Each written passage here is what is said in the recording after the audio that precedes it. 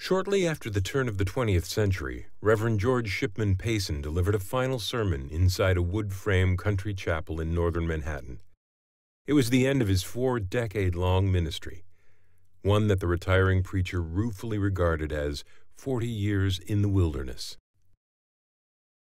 The congregation of the Mount Washington Presbyterian Church resided on Manhattan's northern tip in a neighborhood called Inwood an area north of Washington Heights that roughly spans the Dyckman Valley floor near West 192nd Street north to the Spuyten Duyvil. We lived 10 miles from a beefsteak, Payson recalled. Table supplies had to be ordered the day before they were needed. The nearest livery stable was three miles away, and there were no telephones. If poorer roads existed on the continent, they were not within the limits of Manhattan Island. Payson's grim recollections came at a critical moment in the region's development, just as Inwood was making the transition from farm to city. And while a modern reading of Payson's time-worn memories certainly conjures up a lost Inwood, the neighborhood's early history stretches back much further to a distant prehistoric time when mastodons roamed a primeval uptown. About 17,000 years ago, northern Manhattan and much of New York City was encased in glacial ice.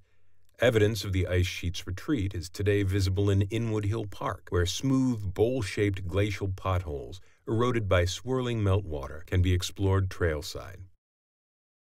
As forests returned, giant mammals, including mastodons, foraged amid lush vegetation, leaving behind teeth and tusks. Humans arrived as well. Explorer Hendrik Hudson sailed into New York Harbor in 1609 and journeyed up the North River possibly encountering the Lenape, who lived near Spuyten. Before long, the Dutch West India Company established a trading post at the foot of New Amsterdam, and Dutch immigrants began to arrive, eventually displacing the Lenape. By the 1670s, the land at the top of Manhattan had been claimed by two of these settlers. The new landowners, Jan Dyckman and Jan Nagel, then engaged a tenant farmer to improve the property for the unusual price of one hen per year. For much of the American Revolution, during British occupation of the region, 1776 to 1783, the Dyckmans endured a self-imposed exile outside Inwood. Some served as guides for American marauding parties as the conflict dragged on. During these bloody years, large numbers of British soldiers and Hessian mercenaries lived in crude, improvised huts throughout the region. Detritus from their entrenchments include musket balls, uniform buttons, broken bottles, and other cast-offs of daily life. Landowners returned when the fighting ceased, and the neighborhood relaxed back into its former sleepy agrarian existence. Only occasionally, perhaps upon finding an arrowhead or musket ball in a field or garden, did the past intrude upon the present. Memories of New York's history as a slave state faded after the emancipation laws brought slavery to a legal end in 1827. A former slave cemetery on 10th Avenue was all but forgotten.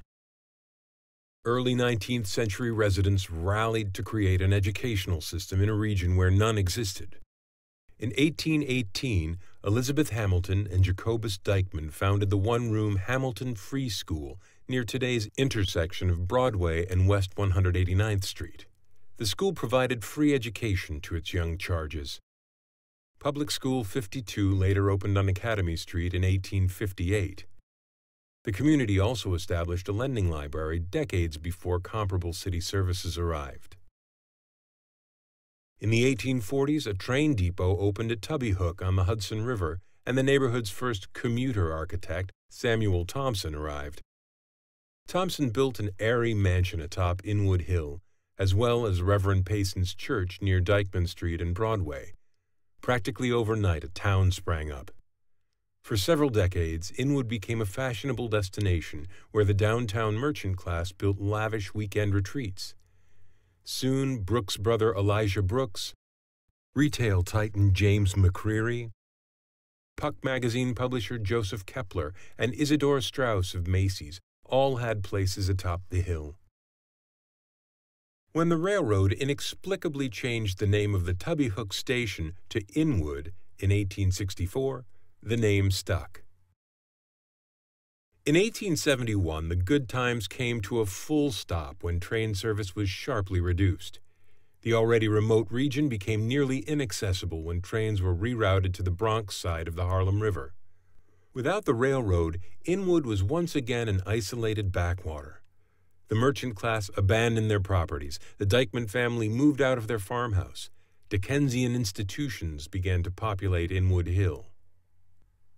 A tuberculosis sanitarium, a home for unwed mothers, and a house of mercy for women whose behavior deviated from Victorian norms.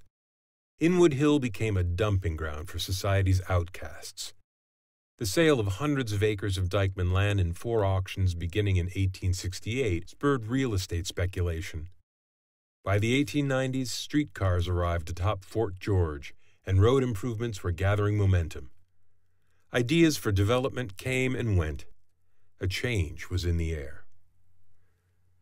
During this time, an unlikely pair of self taught archaeologists, Reginald Pelham Bolton and William Calver, engineers by day, uncovered remarkable relics related to the native Lenape people and the American Revolution. Using simple metal rods called sounders, the lifelong friends carefully probed loose soil disturbed by work crews. The entire neighborhood was, after all, under construction. The noisy and chaotic landscape proved a fertile hunting ground for the Victorian duo. The pair unearthed a stunning piece of Lenape pottery on West 214th Street near 10th Avenue in 1906, embedded in the soil of a freshly cut embankment. Arrowheads, stone blades, and even cave like shelters in Inwood Hill rounded out the remarkable tale of Inwood's distant past. Similar digs on the Dyckman farm, the largest and oldest of the region's former Dutch boweries, unearthed countless relics from the American Revolution. Then, suddenly, the city arrived. The completion of an elevated subway line in 1906 and later the A train in the 1920s precipitated a residential building boom. Parks arrived with the dedication of Isham Park in 1912 and Inwood Hill Park in 1926. The first neighborhood apartment buildings were erected near the corner of Dyckman Street and Broadway around 1904. Dozens more were finished by the end of the decade. By 1940, little land remained undeveloped. Soon the neighborhood was filled with new residents attracted by low rents and developers' promises of clean air and country living.